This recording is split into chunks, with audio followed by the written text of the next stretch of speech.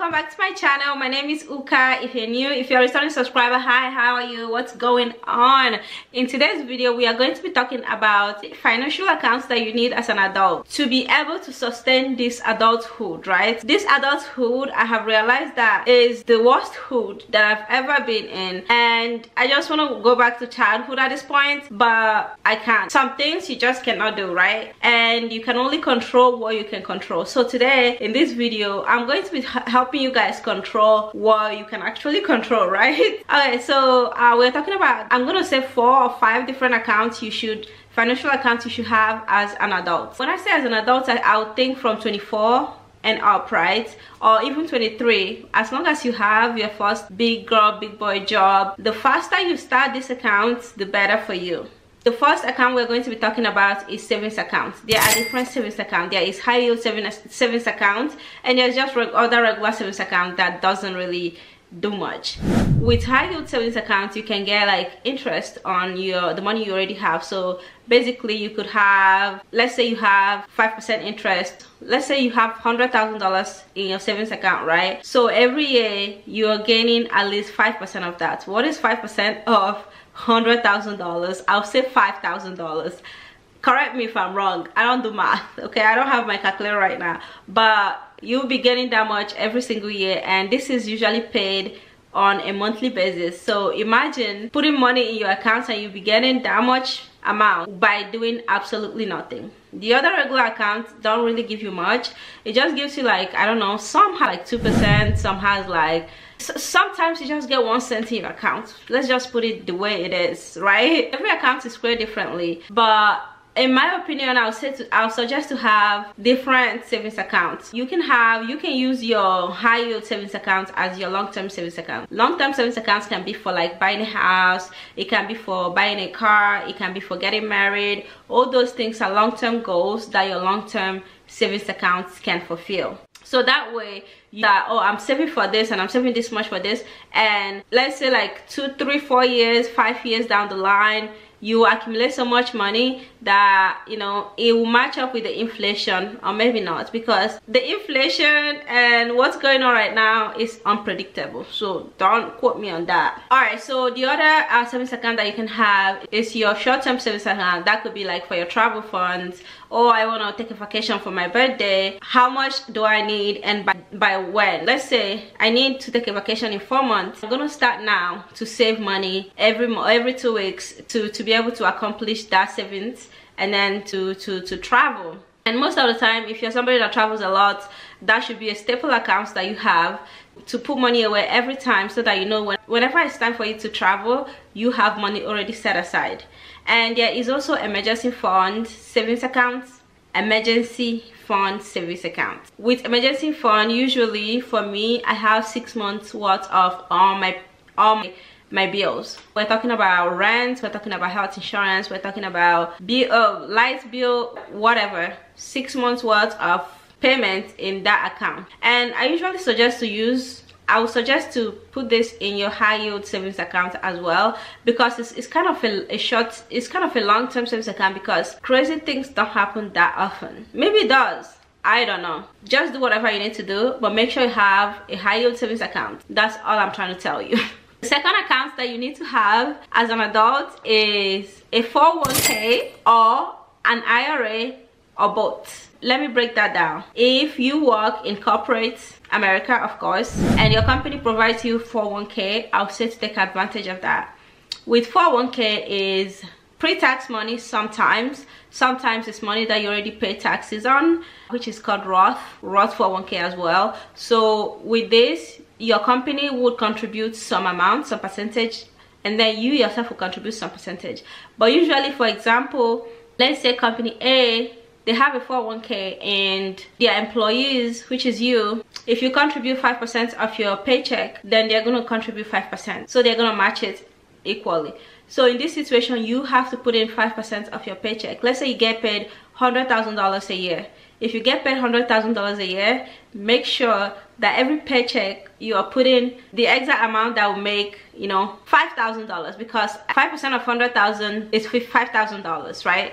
And then that means your company will add additional $5,000 in your account. At the end of the year, you have $10,000.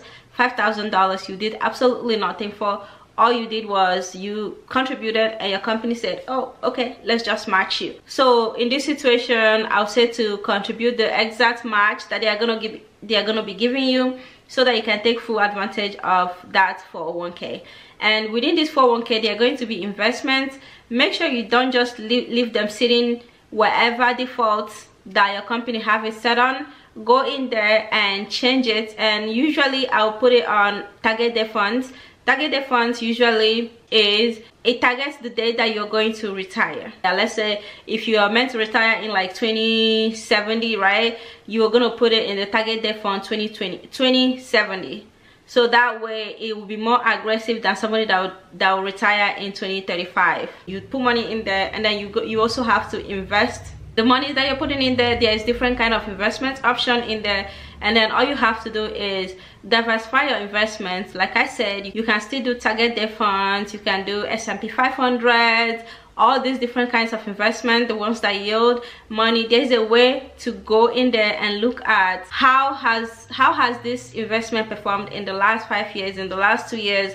And then and then you set it up that way. If you're not familiar with this i'll say to go on youtube and look this up because i know i have a lot of information on this because i've worked i've worked as a retirement person before. I've worked in a retirement place so i was able to work with different accounts like retirement accounts roth iras and other different accounts. So that's how i have all this knowledge. And then you can also have both right? If you have 401k you can also still have a Roth IRA and it basically kind of work the same.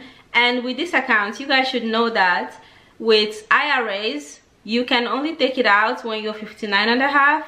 Otherwise there might be a penalty. Usually the penalty is 10 usually the penalty is 10 percent of whatever amount you, you took out. But there could be if you have a good reason of taking that out let's say you're buying a house uh, or if you're having a hardship there there could be a way that you know that 10 percent can come back to you. So this account is an account you're just saving money for when you're older. So just have that in mind. And the third account that you need to have as an adult i would say H hsa uh, health savings account. Health savings account is actually very very important. With health savings account you get to contribute into this account through your employer as well. So with this you contribute uh, pre-tax money money that you haven't paid taxes on. You contribute it and with this money they give you a card and you use this to pay your medical bills. You use it to pay for your copay. You can use it to buy medication all these kind of things. So you're taking advantage of tax. So that that basically means that you're not paying taxes on this you are just using it to pay for your medical bills but the only thing is you can only use this to pay for your medical bills and only your medical bills. Anything related to medication anything related to your doctor's visit you can use it but other than that you cannot use it for anything else.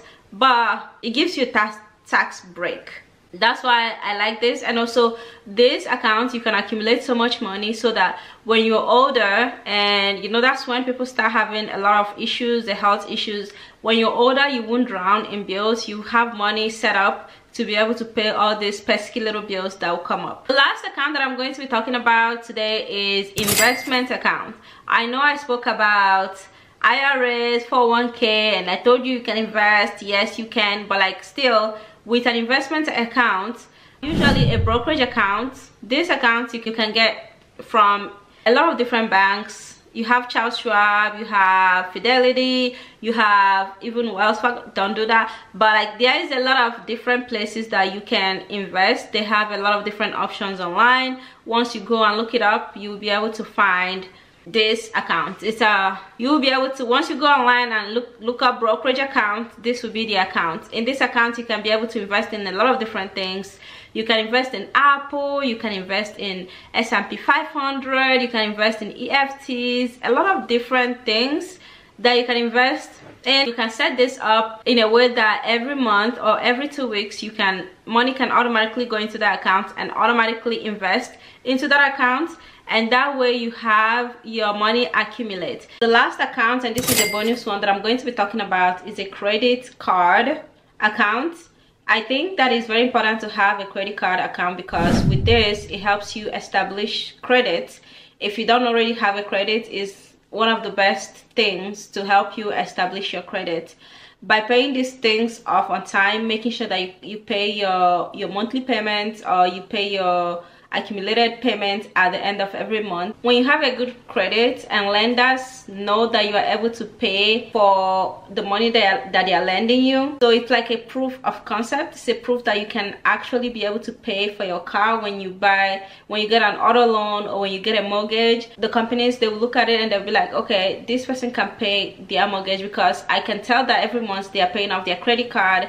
Um, and also just pay it off every month so to avoid the high interest you know payments that you have to pay because credit card has a really really high interest and you don't really want to get yourself into something that you cannot get yourself out. So make sure you're using um, as minimum as you can maintain. If this kind of video helped you uh, give it a thumbs up share with your friends tell me the kind of video you want to see in my next video. But thank you guys so much for watching. Make sure you subscribe make sure you like the video and i'll see you guys on the next one. Bye